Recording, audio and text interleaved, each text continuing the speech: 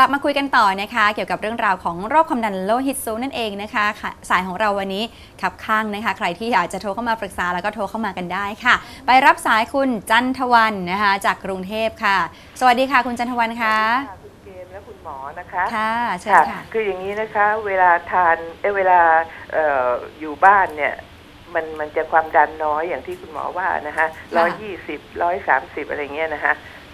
เจ็ดสิบ ข้างหลังเจ็ดสิบนะคะแต่ที่โรงพยาบาลเนี่ยมันขึ้นร้อยห้าสิบร้อยหกสิบอะไรเงี้ยนะคะค่ะเอ่อเป็นเป็นประจำอะ ทีนี้คุณหมอให้ยาพรีโนเรลเป็นยา 25 มิลลิกรัม แล้วก็ทานมาเรื่อยไม่หยุดเลยจนกระทั่งปัจจุบันเนี่ย ทานมาสักกี่ปีสองปีหรือยังไม่รู้คืออยากจะเรียนถามว่ายาเนี่ยพรีโนเรล25 มิลลิกรัมเนี่ย ทานไปเรื่อยๆ จะมีผลต่อไตไหมคะอืมอ่า ตัวนี้ไม่มีผลต่อไตเลยนะครับนะคะตัวนี้จะช่วยทำให้เอ่อเราสงบฮะนะครับอืมแล้วก็ไม่ตื่นเต้นค่ะเท่าไหร่ ทุกทีแล้วเวลาไปวัดโรงพยาบาลมันจะขึ้น แต่แต่แต่แต่แต่ว่าวัดเครื่องอะค่ะวัดเครื่องมันขึ้น แต่วัดเออ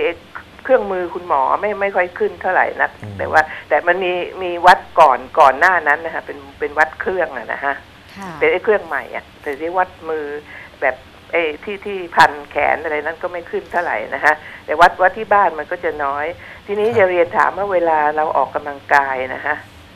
เออเออเดี๋ยวถามเมื่อกี้เนี่ยที่ว่ายาเนี่ย ถ้าทานไปเรื่อยๆ ตลอดชีวิตเนี่ย คือคือคือไม่เป็นไรนะฮะเอ่อทานได้ครับ แต่ว่าถ้าอายุถ้าเมื่อไหร่ที่69ทานไปแล้วเนี่ยรู้สึกว่าจะมีหน้ามืดเวียนหัวอ๋อไม่เอ่อวิงเวียนจะเป็นลมเงี้ยควรจะหยุดนะครัเดี๋บยวฮะอ๋อฮะอ่า แล้วก็ทีนี้จะเรียนถามว่าถ้าเผื่อสมมติว่าเออเออคือคนที่คนที่เขาเส้นโลหิตสมองแตกเนี่ยนะฮะอืมเขาความดันเท่าไหร่คะอยากทราบ ที่เราส้นโลเจหิอตสมองแตกที่เราเจอส่วนใหญ่ก็ขึ้นไปประมาณ180อะนะครัโอ้บเหรอฮะใช่ถึง200จริง ๆ แล้วเรื่องเรื่องเรื่องเรื่องที่บอกว่าเครื่องวัดความดันวัดเองที่บ้านเนี่ยค่ะเราเราไม่สูงแล้วไปที่โรงพยาบาลแล้ววัดแล้วสูงเนี่ยสิ่งหนึ่งที่อยากจะให้ทำตอนแรกคือ ยกเครื่องที่บ้านไปวัดพร้อม ๆ กับที่อ๋อโรงพยาอ๋บาอลยกไปแล้วค่ะยกไปแล้วให้คุณหมอดูแล้วแล้วเป็นไงคุณหมอบอกโอเค แล้วเครื่องเครื่องอันนี้ใช้ได้โอเคคือมันมันยังไม่ไม่แบตเตอรี่ไม่หมด ถ้าถ้าแบตเตอรี่หมดมันจะโชว์ใช่ไหมฮะเอิ่มบางเครื่องถ้าเผื่ก็ออาจจะไม่โชว์ฮะ อันอะไรนี้นะฮะอันนี้ก็เลยบางบางเครื่องมันอาจจะไม่โชว์ไงฮะเหรอฮะก็เลยบอกว่าเผื่อเผื่อคนอื่นด้วยนะฮะค่ะที่ว่ามีเครื่องวัดเองที่บ้านค่ะแล้ววัดไม่เท่ากับที่โรงพยาบาลสิ่งแรกที่ต้องทำเนี่ยคือเอาเครื่องไปเทียบกับที่โรงพยาบาลให้มันเท่ากันก่อน อ๋อ ให้ให้คือวัดพร้อม ๆ กันวัดนะพร้อมกันนะฮะ ไป เอาวัดเอาที่ไปโรงพยาบาลแล้วค่ะใช่ เอาเอาไปแล้วคุณหมอทำทำอย่างเงี้ยอย่างที่คุณหมอบอกอะนะฮะค่ะ เออก็คุณหมอก็บอกว่าเออเรียบร้อยเครื่องอันนี้เออเท่ากันใช้ได้ อ๋อแต่แต่ดีแต่เวลาเราวัดเองเนี่ยบางทีเราวัดตื่นนอนใหม่ ๆ หรือว่าคือเวลาไม่ตรงกับที่วัดที่คุณหมอไงฮะ ครับ เวลาไม่ตรงกัน ทีนี้จะเรียนถามว่าถ้าเราออกกำลังกายเนี่ย แล้วไปวัดที่คุณหมอเนี่ย มันจะสูงขึ้นไหมฮะ เวลาเราออกคือเดนออกกำลังกายทุกเช้าอะแล้วที่ไปหาหมอก็ตอนตอนสายนิดๆน่ะนะฮะอืมทีนี้ออกกำลังกายไปก่อนเนี่ย แล้วพอวัดหลังออกกำลังกายเนี่ยมันจะขึ้นสูงไหมฮะ ทุกคนนะฮะเออคือคือถ้าจะให้ผมตอบจริง ๆ มันก็จะมีทั้งขึ้นและลงอ๋อนะครับ คือค่ะจังหวะที่เราออกกำลังกายเนี่ยร่างกายมันต้องการสูบฉีดเลือดเยอะใช่ไหมฮะค่ะหัวใจเราเต้นเร็วแล้วก็แรงค่ะตรงนี้เนี่ยความดัน ก็จะขึ้นไปค่ะนะครับ ค่ะแต่ว่าพอเราผ่อนคลายแล้วเนี่ยหลังจากออกกำลังกายผ่อนคลายเอ่อร่างกายได้เสียเหงื่อเสียอะไรออกไปแล้วเนี่ยความดันมันจะลงมาดีค่ะอืมนะครับงั้นความดันบางคนอาจจะลงต่ำนิดๆเลยก็ได้ เขาเลยบอกไงฮะว่าการออกกำลังกายเนี่ยเป็นเป็นสิ่งที่ช่วยป้องกันเรื่องความดันสูงในระยะอืมเหรอยาฮะวค รับอ๋อเพราะมันมันขึ้นแล้วมันลงอะฮะเอ่อมันอ๋อมันจะเป็นขึ้นตามธรรมชาติอยู่แล้วค่ะเวลาที่เราออกแรง แต่ค่ะว่าหลังจากนั้นในนักกีฬาหรือในอะไรพวกเนี้ยเขาไม่ค่อยมีปัญหาเรื่องความดันสูง เพราะว่าพอพอเขาออกกำลังกายเสร็จใช่ไหมฮะค่ะเอ่อวันหนึ่งอาจจะออกกำลังกายสักครึ่งชั่วโมงหรือชั่วโมงหนึ่งค่ะแต่หลังจากนั้นทั้งวันเนี่ยความดันเขาจะไม่สูงเลยอ๋อเพราะว่าผลจากการออกกำลังกายใช่แต่แต่ขณะที่ออกเนี่ยมันมันขึ้นไหมล่ะฮะเอ่อ ขณะที่ออกมันขึ้นได้คือกคลัวรับว่าจะเวียนหัวกลัวที่สมมติอืมเราเราว่ายน้ำเนี่ย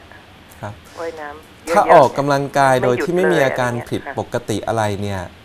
ก็ควรออกไปเรื่อยๆนะฮะค่ะ ถ้าไม่เวียนหัวนะคะครับผม นะคะครับ ค่ะก็ไม่ต้องห่วง เราไม่ต้องห่วงเรื่องยาเอพรีโนรัลนะคะคือไม่ต้องห่วงเรื่องที่ว่าเออจะไปกระทบอะไรนะคะไม่เป็นไรเอ่อทานอีกทานได้อีก 10 ปีครับ อ๋อ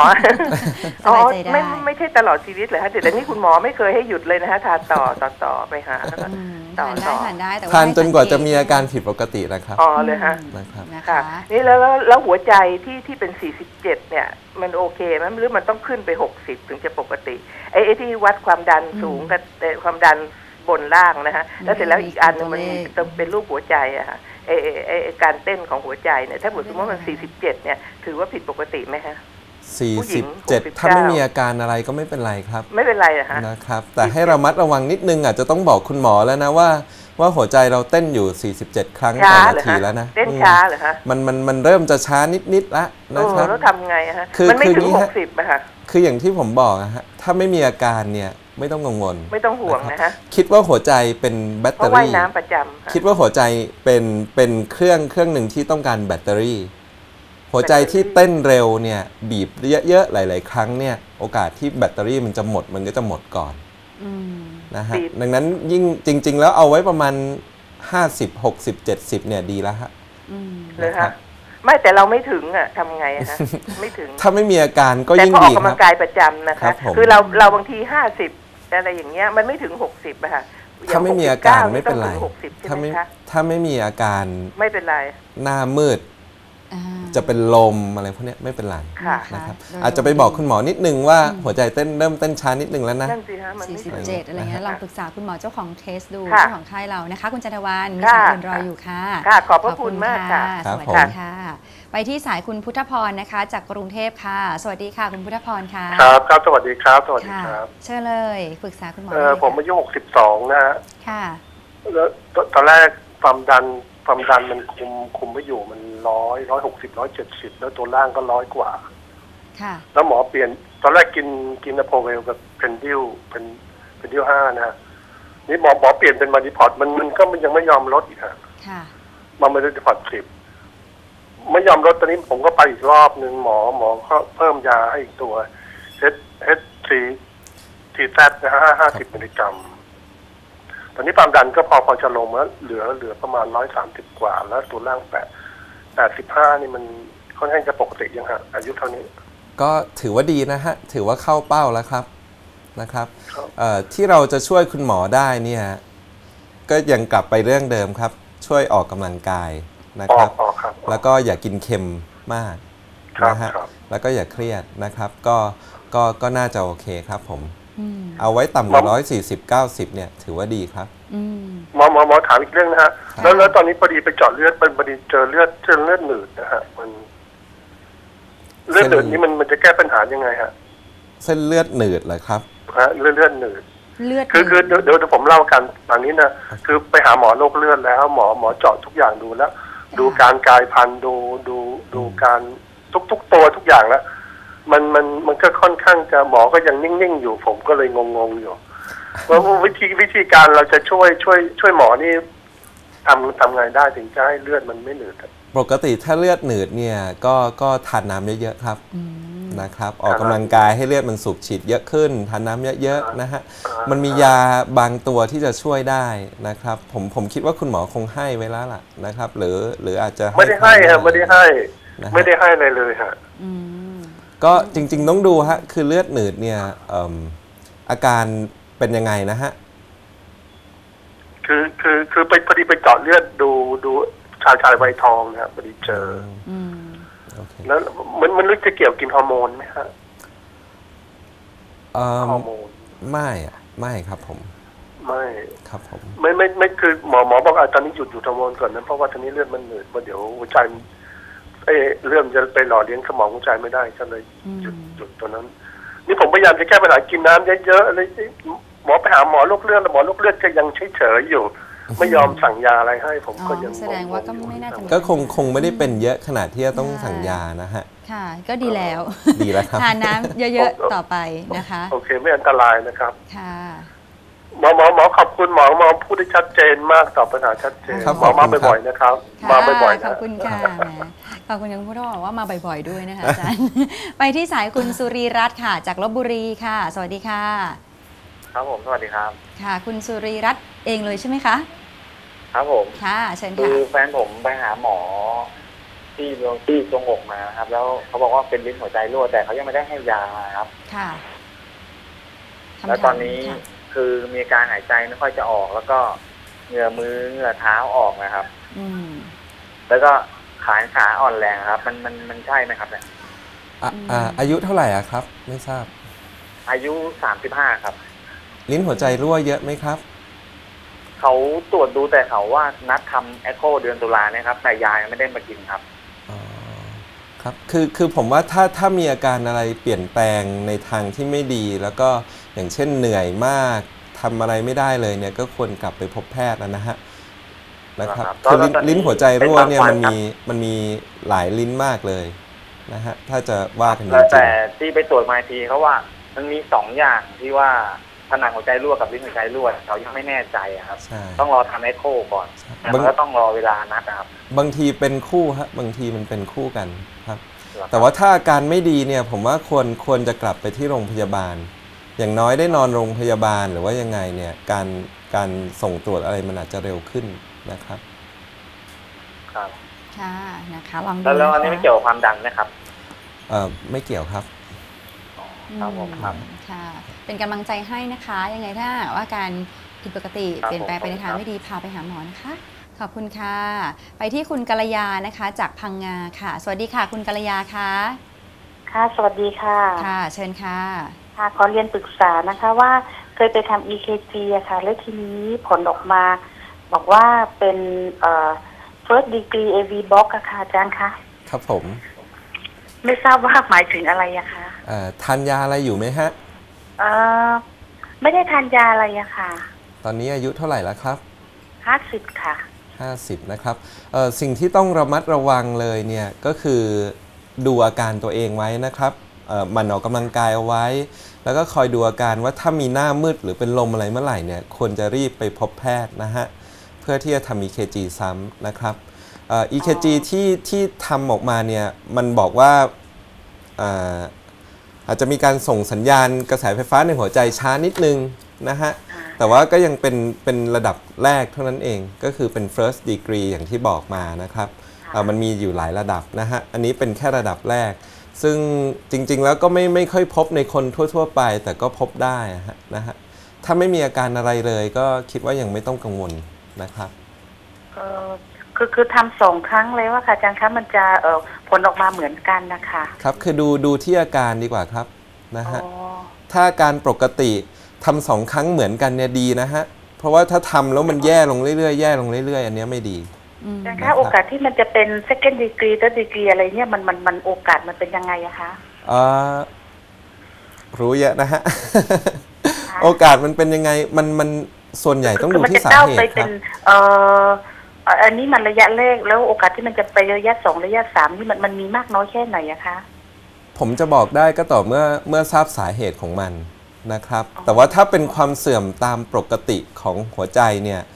ถ้า first degree คืออายุ 50 เนี่ย second degree ก็คงประมาณ 80 ถึง 100อะนะฮะ แล้ว third degree ก็คงประมาณ 150 ครับผม แต่ว่าถ้าเป็นสาเหตุอื่นเนี่ยมันอาจจะเร็วกว่านี้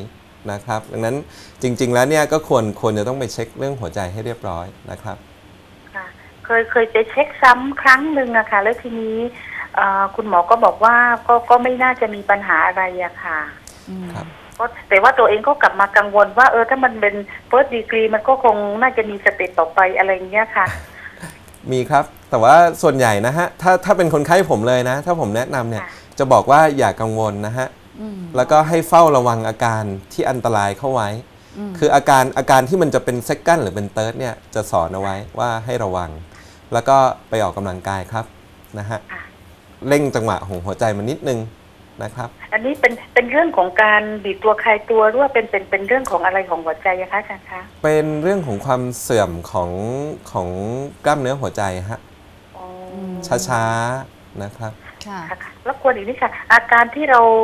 น่าจะเออคิดว่าน่าจะต้องไปพบแพทย์อะอะคืออาการอะไรบ้างอะคะอาจารย์คะมีหน้ามืดเป็นลมหน้ามืด นะครับ หมดสติไม่รู้ตัวเนี่ยเป็นลมเนี่ยอันเนี้ยอืม ค่ะไม่ได้เลย ต้องไปพบแพทย์ทันทีนะครับนะคะ เอ่อหรือเหนื่อยง่ายเวลาออกแรงนะฮะค่ะ ลองสังเกตแค่ลองเพลียดูเพลียๆแล้วก็เหนื่อยเหนื่อยเพลียๆแล้วเหนื่อยบางครั้งลุกมาเดินรไปลุกมาว่ยำวิ่งเนี่ยมันก็หายใจไม่ค่อยออกนี่มันไม่ใช่ใช่ไหมคะถ้าอย่างนั้นถ้าอย่างนั้นอาจจะลองไปเดินสายพานดูอืมนะครับค่ะค่ะค่ะลองดูขอบพคำกระริคุณยาขอบคุณค่ะค่ะ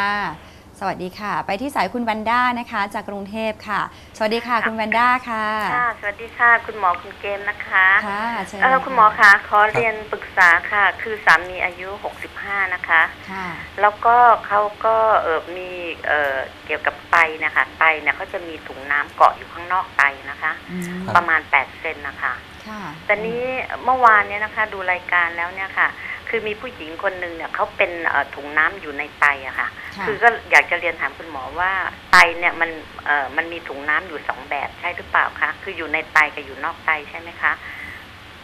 อืมแหมไม่ตอบตอบอย่างไม่ใช่ผู้เชี่ยวชาญนะครับเรื่องเอ่ไตอเออไตคือคือถุงน้ำเนี่ยมันมีหลายแบบนะครับค่ะเอ่อ บางคนก็มีเป็นหลาย ๆ ก้อนเลยประมาณ 7-8 ก้อนเล็ก ๆ อยู่ในไตอ๋อค่ะนะฮะอันนี้เจอในผู้ชายอายุอาจจะไม่เยอะเท่าไหร่นะครับเอ่อแล้วก็บางคนเนี่ยก็เป็นซิสอยู่นอกไตก็มีได้ครับอ๋ผอมเหรอคะครับอืมค่ะค่ะคือคือคุณหมอคะแล้วถ้าเผื่อว่าถุงน้ำอันนี้มันมันแตกอะค่ะเอ่อผู้ป่วยเนี่ยเขาจะมีอาการยังไงคะเราเราจะได้รีบไปส่งโรงพยาบาลเงี้ยค่ะ อาจจะมีอาการปวดท้องครับ อ๋อเหรอนะคะครับแต่ส่วนใหญ่นะฮะส่วนใหญ่พวกซิสถ้าแตกเนี่ยถ้าถ้ามันไม่ได้มีเส้นเลือดมาเลี้ยงอะไรเนี่ยมันไม่ไม่ค่อยมีอันตรายอะไรอืมอ๋อนะครับ ค่ะค่ะนะคะก็ก็เขาก็ไปเอ่อทำเอ่อไปตรวจสองกล้องอะไรไม่ใช่สองกล้องค่ะทำ MRI หรืออะไรสักอย่างนะคะ ครับค่ะแล้วแล้วเขาเอ่อคุณหมอก็บอกว่ามันมันไม่มีผลอะไรกับไตอะค่ะ แต่ถ้าเผื่อว่ามันจำเป็นจริงๆเนี่ยเขาสามารถเอาเข็มเจาะ เข้าไปสองรูอะค่ะ เพื่อดูดน้ำออกอะไรอย่างเงี้ยค่ะอ๋อค่ะค่ะ อย่างเงี้ยค่ะ ก็ก็ก็ทำได้ใช่ไหมคะคุณหมอ ได้ฮะแต่ผมว่าถ้าถ้าไม่มีอาการอะไรเลยนะครับ ค่ะ ก็ก็อย่าไปทำอะไรดีกว่าอ๋อค่ะค่ะครับค่ะแต่นี้เขาเขาเขาออกกำลังกายทุกวันนะคะการออกกำลังกายเยอะๆนี่มันจะทำให้ถุงน้ำอันนั้นแตกได้ไหมคะคุณหมอเอ่อหรือยกของหนักๆอะไรเงี้ยค่ะ จริงๆแล้วขึ้นอยู่กับชนิดครับ คือคือคืออันนี้ผมตอบแบบว่าตอบ พอขำๆนะ ค่ะคือถ้าไปเล่นลักบี้ออกกำลังกายแบบเล่นลักบี้อันนี้โอกาสแตกสูงอ๋อแรงๆขนาดนะนั้นครับค่ะคือมีการกระทบกระแทกบริเวณท้องนะฮะ ค่ะแต่ว่าถ้าไปวิ่งหรือไปยกน้ำหนักหรือไปอะไรเงี้ยไม่เป็นไรครับ อ๋อค่ะค่ะ ก็คุณหมอคะคือเมื่อวานเอ่อคนไข้เมื่อวานที่เข้ามาถามในรายการนะคะเขาบอกว่าถุงน้ำที่อยู่ในไตเนี่ยมันทำอาจจะทำให้ไตวายได้ แล้วก็ก็จะมีอาการคล้ายๆ ความดันโลหิตจะสูงอะไรอย่างเงี้ยค่ะ แล้วมันจะเป็นอาการคล้ายๆกับเอ่ออาการร้ายแรงอะไรเงี้ยนะคะของของของโรคเนี้ยค่ะค่ะแต่นี้ถ้าเผื่อถุงน้ำที่อยู่นอกไตอะค่ะ มันมันจะมีผลกับความดันด้วยนะคะเอ่อส่วนมากไม่มีฮะส่วนมากจะไม่มีครับนะคะค่ะค่ะ ภาพรวมดูดีนะคะ ค่ะ ค่ะ ขอบคุณค่ะพรคุณบรรดามกนะคะคุณหมอคะขอบคุณค่ะคุณเกมด้วยค่ะ ค่ะ ขอบคุณที่ติดตามค่ะ สวัสดีค่ะ ไปที่สายคุณจิตรภานะคะ จากสมุทรปราการค่ะ สวัสดีค่ะ สวัสดีค่ะ ค่ะ เชิญเลยค่ะอืมจะเรียนถามคุณหมอนะคะ เกี่ยวกับเรื่องว่า เวลาแฟนเขานอนนะเขาก็จะนอนกรนนะคะ ค่ะกรนแล้วก็เรานอนตื่นขึ้นมาแล้วเรา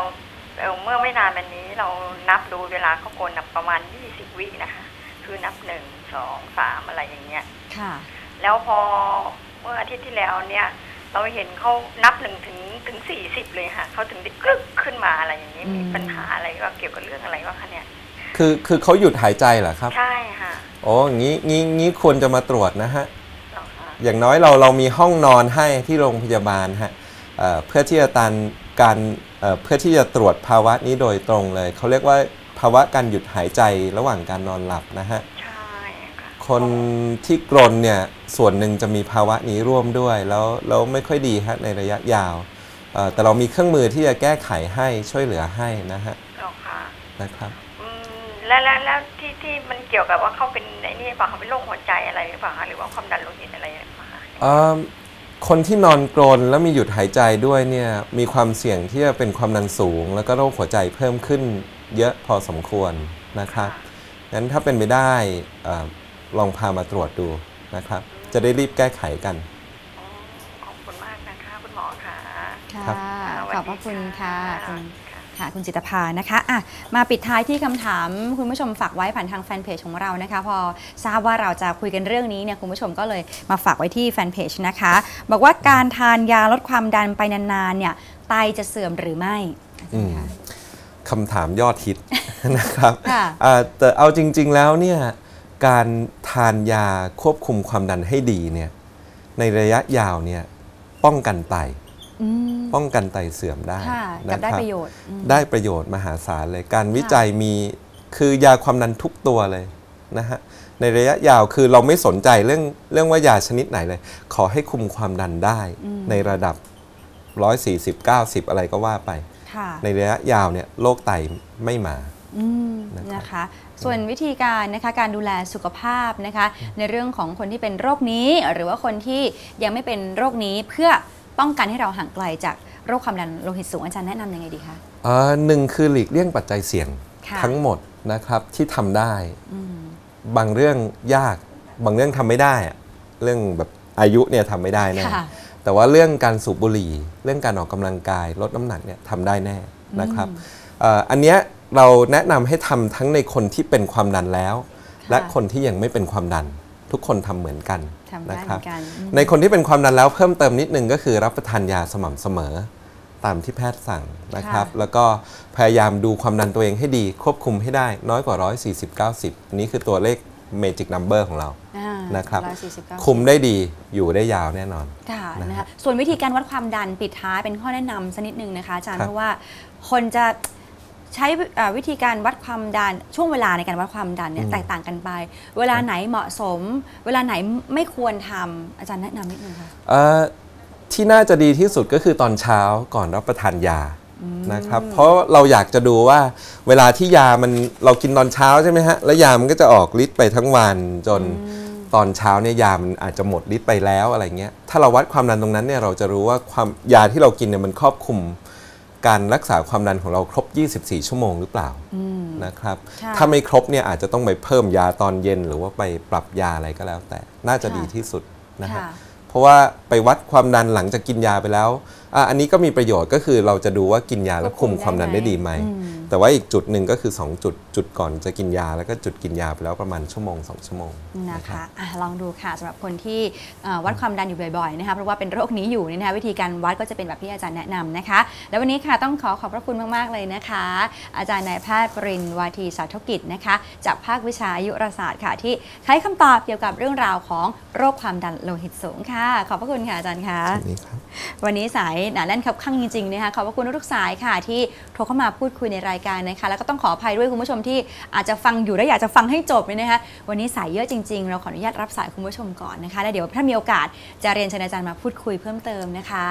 ค่ะส่วนคุณผู้ชมที่อยากจะโทรเข้ามานะคะ เรื่องของการรักษาตัวที่โรงพยาบาลรามาธิบดีของเรานะคะ ไปได้ที่สายด่วนนอกเวลาค่ะ 02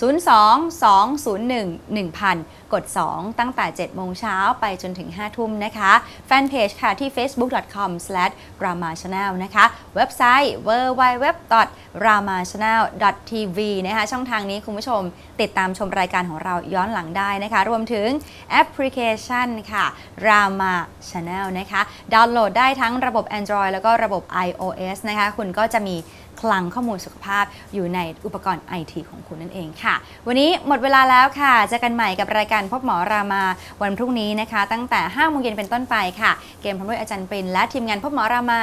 ลาคุณผู้ชมไปก่อนนะคะ วันนี้สวัสดีค่ะ